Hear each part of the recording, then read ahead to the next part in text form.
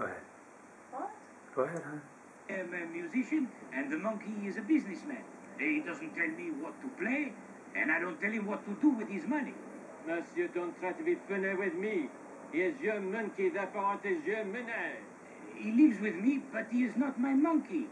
One day I came home and I found him sitting